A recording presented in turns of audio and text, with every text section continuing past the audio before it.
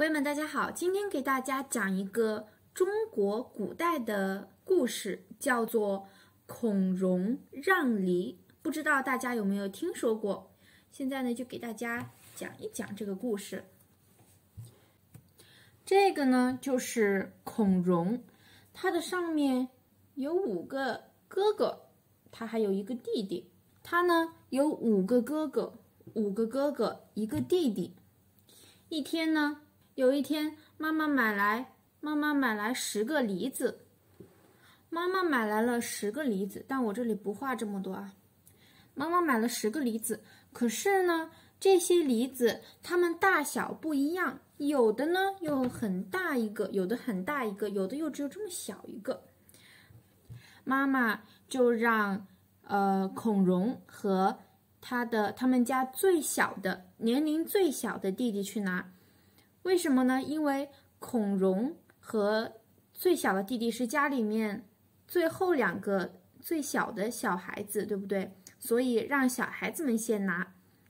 可是呢，在啊，孔融的弟弟拿完了这个，孔融的弟弟呢拿了这个梨子，可是呢，孔融却拿了这个最小的。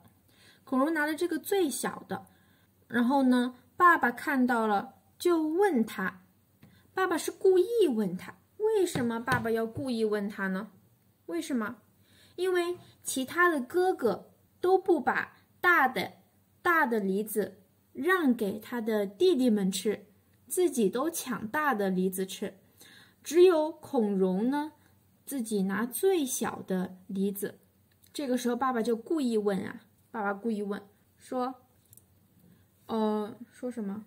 爸爸就说：“为什么你不拿这个些大这些大梨子吃，却偏偏拿最小的一个呢？最小的一个。”孔融说：“我年龄我年龄没有五个哥哥们大，我比他们都小，所以呢，要把大的留给他们吃。”那么爸爸又问：“那你又不是年龄最小的，按你这么说，照你这么讲的话。”最小的不应该留给你的弟弟吃才对吗？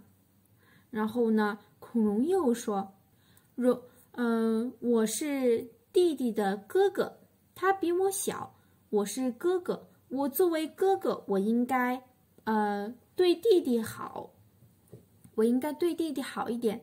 所以呢，我拿最小的。这个故事呢，讲述的就是一个呃懂事、礼貌的孩子。”爸爸妈妈也都夸孔融礼貌，所以呢，孔融的故事才能，呃，到我们现在都存在，对不对？好了，这就是一个孔融让梨的故事。